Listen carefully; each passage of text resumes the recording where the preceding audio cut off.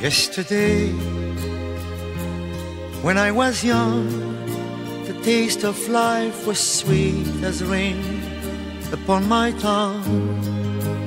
I teased at life as if it were a foolish game, the way the evening breeze may tease a candle flame.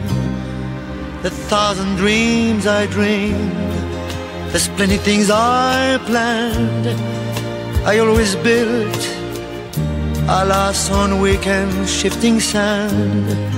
I lived by night and shunned the naked light of day. And only now I see.